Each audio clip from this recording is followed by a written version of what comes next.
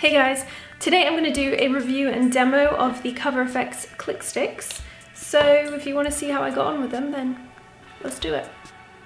So I think the actual name of the Click Sticks is something a little bit longer with more C's in it, but you know, who's got time for that? And because I decided not to buy the green one, I have a giant zit. So that's great. So CoverFX recently released these. They come in kind of three categories. So you can get correct clicks, cover clicks, and then I think there's an enhance click or like a highlighter. And you can also buy these tubes, which is, the, I guess this is the click stick. So you could get two of these and then you like put them in here and you've got two in one. So I decided to get the peach corrector and the yellow corrector. Now, they come with purple tops, which was confusing to me because I was like, well, I didn't buy the lilac one. Why have they sent me two lilac ones? I guess that's just the color of the correcting ones, but they are the peach and the yellow shade. And I also got two of the cover shades. So I got G40, which is like my kind of average foundation color from them. And then I also got G80 so that I could like bronze with it. So I decided to get these because I do travel a fair amount and I love anything that is going to make that a bit easier and make makeup application quicker and I don't have to put them in liquids bags and stuff like that. And I love that you can get these to kind of have two in one. So the correctors and foundations and enhanced shades um, are sold singularly and they're $18 each. Now, these are tiny. I hope that it shows up how tiny they are on film. They're about the same size as a lip balm, which is crazy, but maybe they last a really long time and that makes it worth it. So those are $18 each, and then you buy the click stick for $8. Now, because they are tiny, I'm guessing I'm not gonna be using these every day, but if they work well, I think for travel, it could be worth it. I don't know how long they last, so I'm trying not to like make my mind up right away.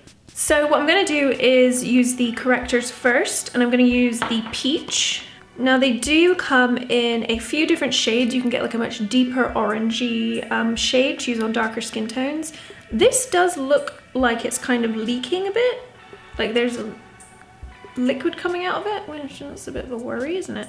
So I don't know if this is weird, but I'm gonna dab it off on some tissue because it doesn't seem like it should be wet.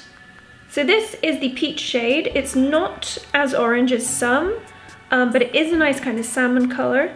And then you have the yellow as well, which is obviously also fairly light, but I do believe that they have deeper shades for darker skin tones. So I'm gonna start with the peach one.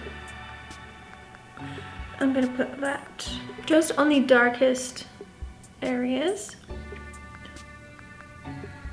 And if you're ever unsure of what color corrector to use for certain discoloration, just look on Google Images and search for um, color wheel. Whatever's opposite one another is gonna cancel the other one out. So for like blue or purple, it's gonna be a peachy shade and then like red is gonna be green. Yellower shades is gonna be like a lilac. Um, and I am going to blend that out first. So I'm using a pro highlighter brush from Beauty Junkees. I'm gonna zoom you guys in. And I'm trying this with like a soft brush first, just because I'm not sure what's gonna work best with it. So it does seem to blend out fairly well. It does have pigment left over. That usually is actually better. I think sometimes people find that scary because they're like, well, you can see the orange now, but that is gonna give you more coverage than it just disappearing altogether. And we're gonna put stuff on top, so I do feel like I can still see some blue in there, so I'm going to apply a little bit more and try it with a finger instead.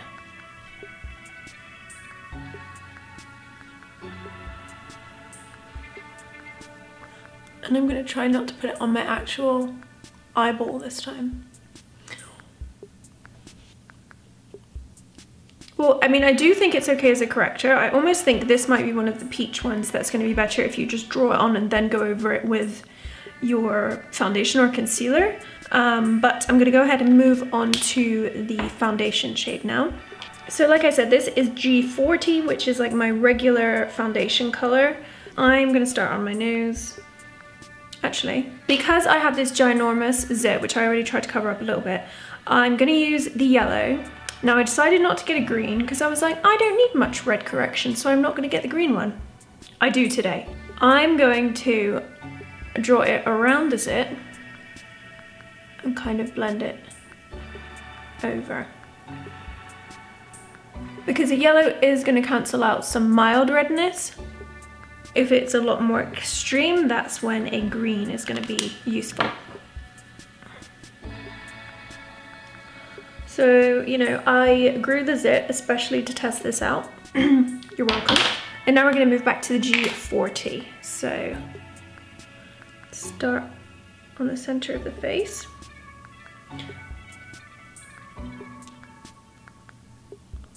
And to blend it out, I'm gonna use the Zoeva 104 Buffer.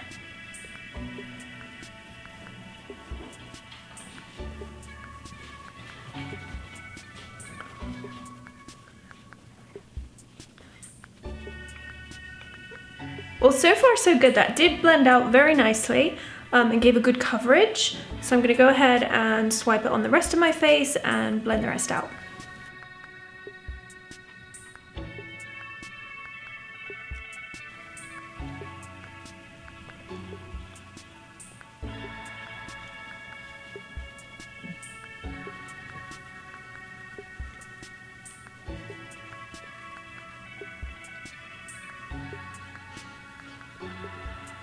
So I really like this shade. I do think it blended out really well with that brush. Um, and the reason I tried this one is because when I travel, I'll usually take the Hourglass little retractable kabuki. So I figured that was fairly similar to that. Now it did kind of uncover this zit a bit, but I don't think anything besides wool spackle is really gonna cover this right now. Anyway, while that settles down, I'm going to use G80. So this is the shade I'm gonna be using for bronzing. So I do think one good thing about them being small, especially if you're gonna use it for bronzing, is that you can be pretty precise um, and you've not just got like a huge stick, you know?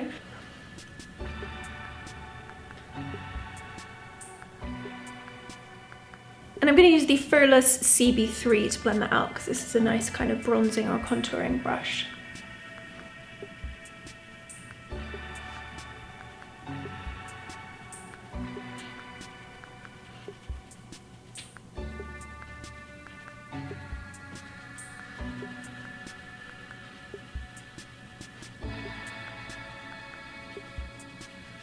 So that did blend in really nicely, which it should do since it's the same formula, same product.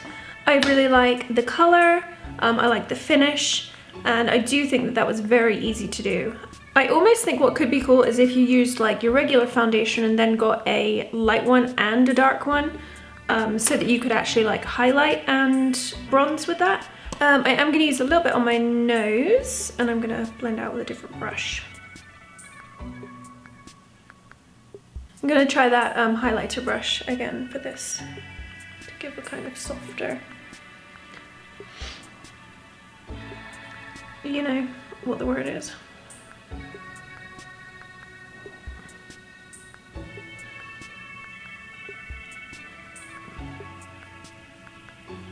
Now moving back to the yellow, and I did find myself picking them all up to see which one was which because I haven't quite grasped the fact that all correctors are purple and all foundations are black yet, but you know, maybe I'll get there. So I'm gonna highlight in here. I'm gonna highlight here. I'm also gonna try and cover that again, so let's, you know, yellow that up.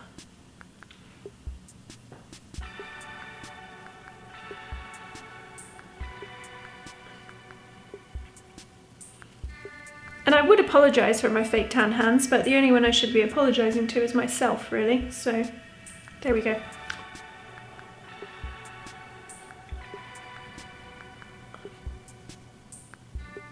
I do love the finish. I think that the correctors are good, but I just, I really love the foundation and bronzer that I picked out. Um, I think that they blend in really well. I really like the finish. Obviously you can't really tell right now because I don't have any of the rest of my makeup done. So I am gonna go ahead and do that in a second, but first I wanna show you how the um, click stick itself works. So obviously I got two because I have four of their sticks.